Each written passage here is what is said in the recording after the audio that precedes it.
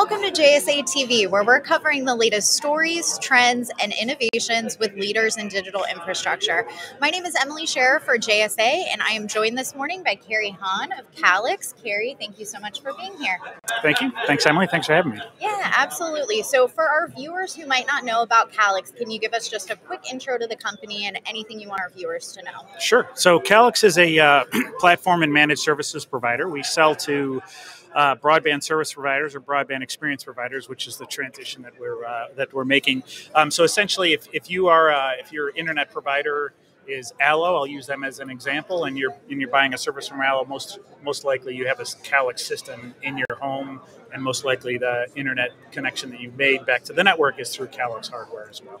Excellent. So you make it just a little bit simpler to get connected to a lot of those broadband providers. And that and the point of the platform is that it also it's a software base, so it isn't it doesn't require you to install a new appliance, a new piece of hardware, a new device. Where we have systems that allow you to upgrade the services that you have from the cloud almost instantaneously. So it doesn't require. It's a much simpler, uh, simpler to manage as well as we can sell you it or you can install and, and, and provide additional services more easily. And nobody likes service visits, so that's perfect. it's a lot or, easier to or, get it upgraded. Or service calls, and we're sitting as we were talking, sitting yes. on the phone for a couple hours trying to get someone to help you. It's the worst. It, it's the thing people want to avoid the most. So that's indeed. excellent. That's okay, part of great. the experience. Awesome, awesome. So tell us, what is your core differentiator? I think we want to talk a little bit about that um, broadband experience provider Correct. Um, bit of what you so mentioned. I, I mentioned that the platform um, is a lot of what we, we think as, as the foundation of what makes a differentiation. So I'll use an example. It's some uh,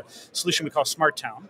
Um, so it's a uh, it's it's community Wi-Fi, but much better. so the idea is that we you can use all of the Wi-Fi systems that are in the homes. You can put some in the park, and it automatically creates Wi-Fi for the town. It's kind of ubiquitous mesh wow. of Wi-Fi in the town, and so you can you can have this be a solution that you sell to your subscribers, and it makes those subscribers first off get that experience of hey, I can have Wi-Fi wherever I go. So if I'm uh, you know, the example we use a lot is if you're at a football game, you know, once you go to a football game and there's a thousand people there trying to use the local cell tower, you can't barely do anything. Where now, if you have the Smart Town Wi-Fi experience, it has more than plenty of bandwidth to take up the entire stadium. So you can Yeah. you know live stream your own version of what's going on in the game, and that's a different experience that our providers can then brand, share, and it becomes really sticky. Like, why would you leave to go to some other, even if it's you know some other provider that maybe is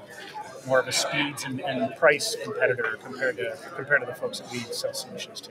Right. Excellent. Great. Thank you for sharing that. Yeah, and that really resonates with me. I go to a lot of concerts, so that you go. experience of That's trying to load a QR code and not being able to get in there. Yes. Yeah. So excellent. Great.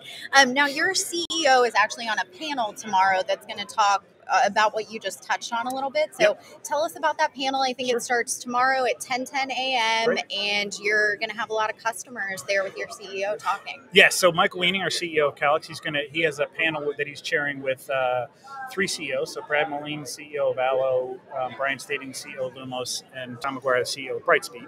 There's three of our customers that are have made the transition, I should say, to being um, experienced providers.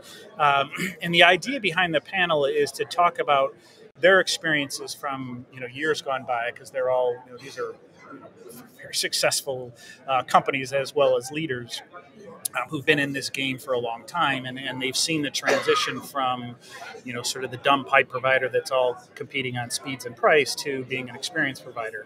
And part of that experience provider as i was describing is it, it, it you know makes your subscriber happier with you builds on your brand but then also it allows you to actually be you know you have higher take rates you can charge higher arpu so there's a financial component to it as well where you know it's a you, you can make more money Yeah.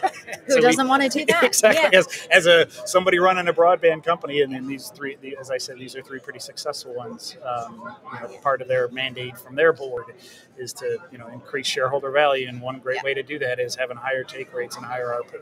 Um, and the math is pretty straightforward Great. Well, that sounds like a great panel. Again, that's happening tomorrow at 10 10 a.m. Um, with Calix's CEO and some of their customers. So be sure to check that out.